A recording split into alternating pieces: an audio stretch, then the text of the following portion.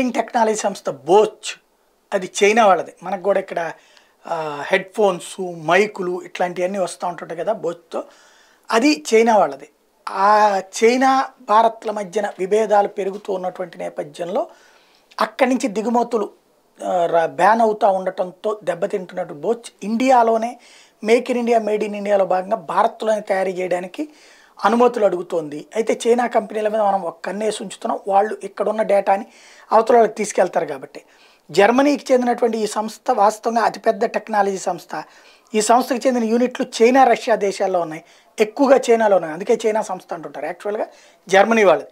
అయితే మారుతున్న పరిస్థితుల్లో చైనా రష్యా దేశాలకు పెట్టుబడులు అనుకూలంగా లేవు కాబట్టి ఆ రెండింటిని వదిలేసి ఇండియాకు వస్తానంటుంది.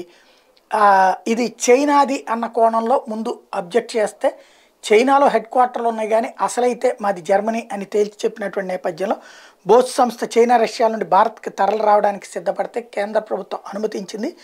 ప్రధానంగా ఇంజనీరింగ్ పరికరాన్ని భారత్లోనే తయారు చేయాలని ఈ సంస్థ నిర్ణయించుకుంది. ప్రస్తుతం భారత్లో సరైన భాగస్వామి కోసం ఈ సంస్థ ప్రయత్నిస్తోంది.